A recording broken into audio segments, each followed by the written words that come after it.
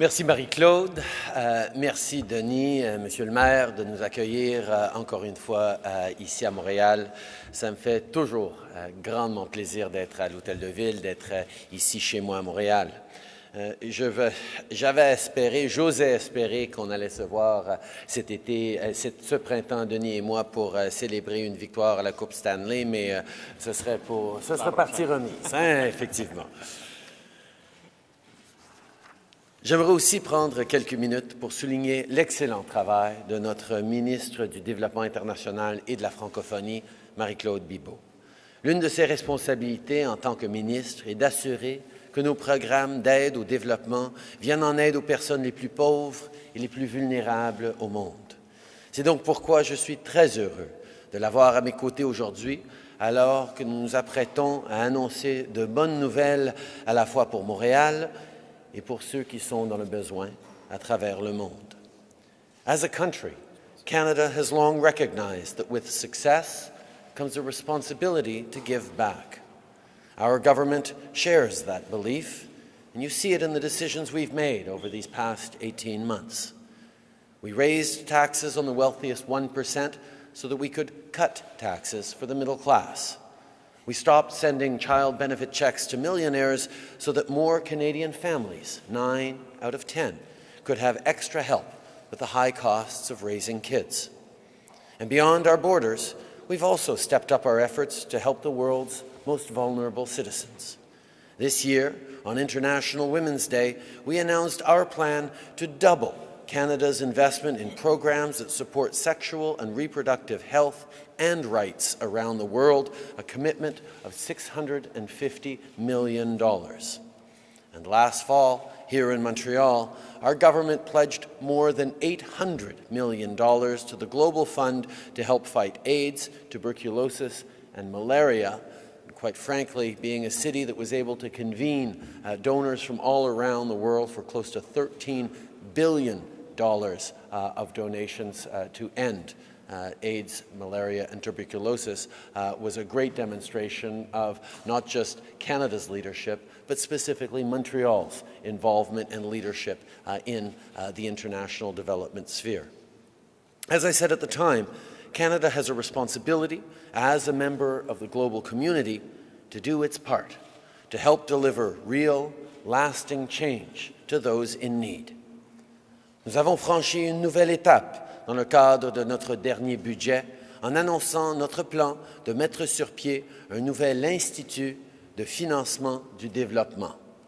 En accordant un financement aux petites et moyennes entreprises dans les pays où l'accès aux capitaux est limité, ce nouvel institut aidera à créer des emplois, à stimuler la croissance économique et à réduire la pauvreté dans les pays en voie de développement.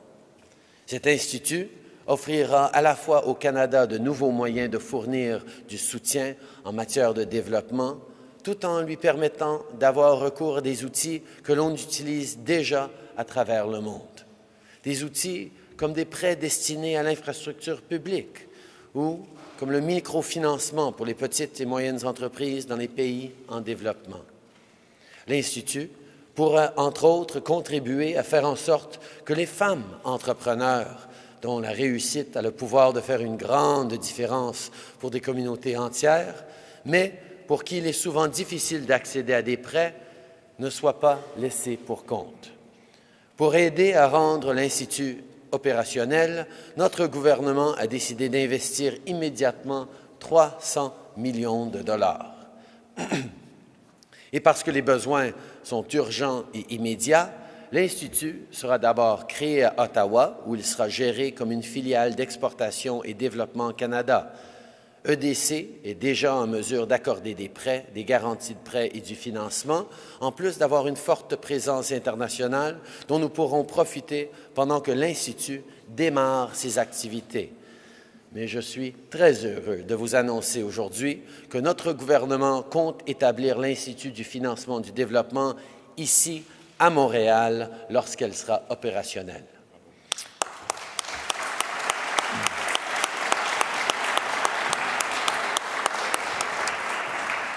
Une fois établi de façon permanente à Montréal, il sera en mesure de créer jusqu'à 100 bons emplois à temps plein. Nous avons choisi Montréal pour plusieurs raisons évidentes. Tout d'abord, en plus d'avoir un bon nombre d'institutions financières majeures du Canada déjà très bien établies à Montréal, il y a aussi un réseau solide d'organismes voués au développement international. Montréal a aussi un secteur privé dynamique qui possède l'expertise nécessaire pour assurer le succès de l'Institut, mais surtout, Montréal est une ville qui a toujours eu pleinement conscience de la place qu'elle occupe dans le monde et qui comprend que prendre soin de nos voisins, qu'ils soient de l'autre côté de la rue ou de l'autre côté de l'océan, fait partie de qui nous sommes. To members of the development community who have been asking for this kind of initiative for many years, many of whom are here today, waiting patiently for this program to materialize, I want to say thank you for your persistence. We've heard you, and we're going to work hard together to make sure that the Institute delivers the results that are needed in places that need the help the most. The Development Finance Institute is about doing what Canadians do best reflecting on our success and turning that reflection outward in real and meaningful ways to help share our good fortune with others. Nous sommes très heureux de savoir que cet institut sera établi de façon permanente ici à Montréal, la ville toute désignée pour l'accueillir.